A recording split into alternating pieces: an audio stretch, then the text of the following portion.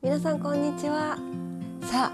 今回は空想力アップインテリアの第3弾をお伝えしてそしていよいよ私がこの空想で何をするのかというのをお話ししていきたいと思います。ぜひ最後までご覧ください。さあ1回目はこちら。ステンドグラスを買いました。そして空想力アップインテリアの2回目はこちらの椅子を買いました。そして第3回目はこちら。じゃーん。なんだ堀さんこれ。じゃじゃーん。こちらはですねテーブルクロスです。このテーブルクロスをこのテーブルに引いてそしてよいしょ。そしてですねこのテーブル上を空想の表現の舞台にしていきたいなと思ってます。どういうこっちゃっていう。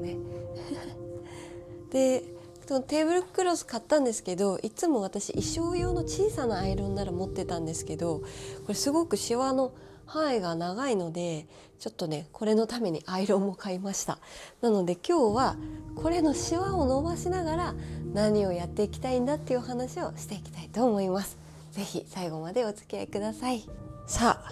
あアイロンも買っちゃいましてなぜか題名が男前アイロンっていう。テーブルクロスって皆さん使ったことあります？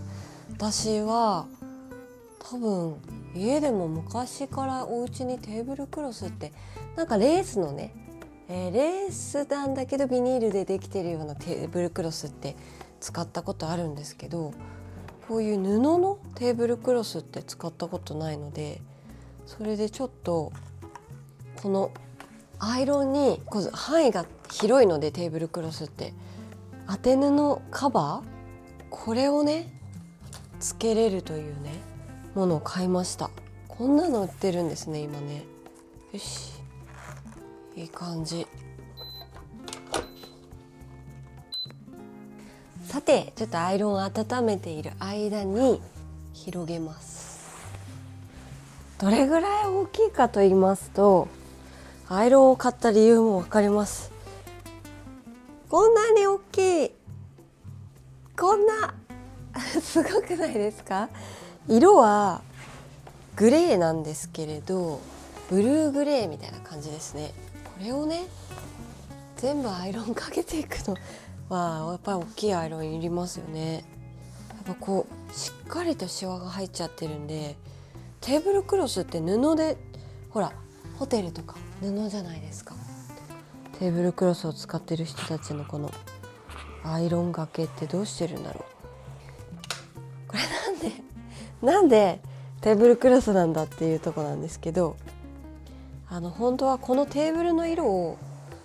塗っちゃおうかなと思ったんですよ。このブルーグレーの色にもしくは濃い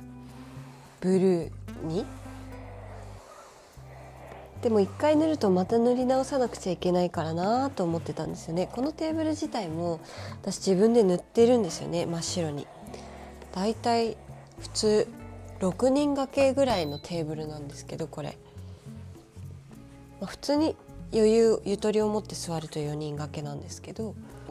ちょっと当て布カバー外して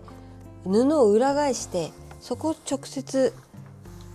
行ってみます。ああやっぱりこっちの方が取れるわ。ちょっとですねアイロンがなかなか終わらなそうなので先に買い物に行ってきます。何の買い物に行くかと言いますとこのテーブルクロスを引いてこの上で寝台列車を走らせたいと思います。空想で旅行行く時にこう本物の寝台列車みたいにこの部屋の中をしようかなと思ったんですけどなかなか取り揃えるものが難しいなと思ってどうしようかなと思った時にどのみち空想をしてるんだから自分のサイズも小さくなったっていいじゃないかと思ってそれでこのテーブルクロスの上で列車が走って星空の中を空想の列車ででタイトルが「空想夜行列車」これをですねともうバレンタインには全然間に合わないということに気づいたのであの今やってる制作の締め切りとの兼ね合いでスケジュールでそれは間に合いませんとなったので一応目標としては、えー、2月の20日に走らせたいなと思ってます。で寝台列車を走らせる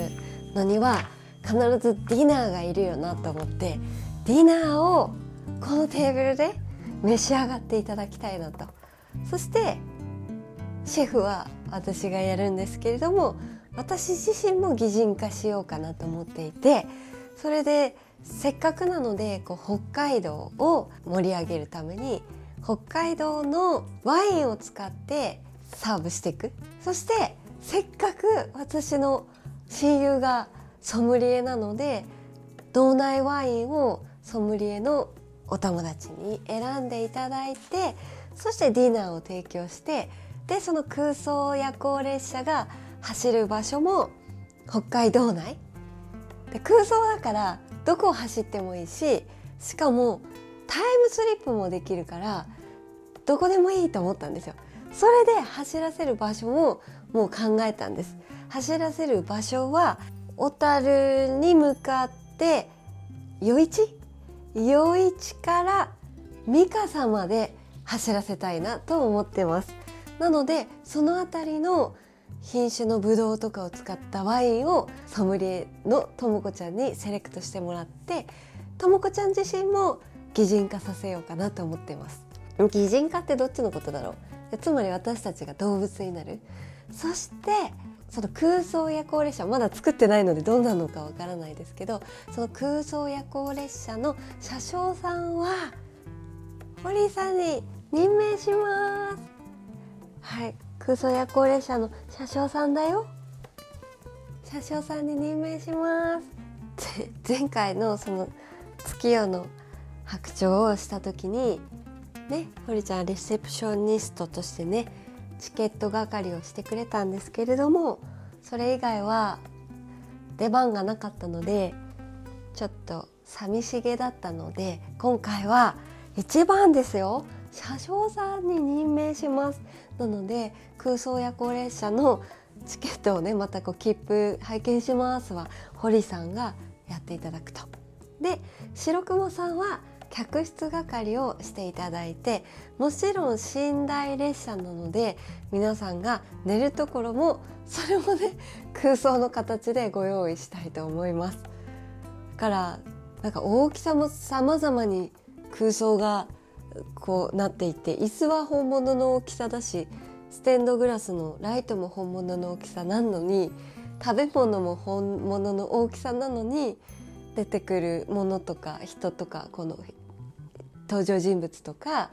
その寝台列車の一部分とかが大きさが小さくなったりしていてそれがごちゃ混ぜになっているっていう。でメニューが ここに考えてですねこれもちょっとあるんですけれどもこのメニューに合わせて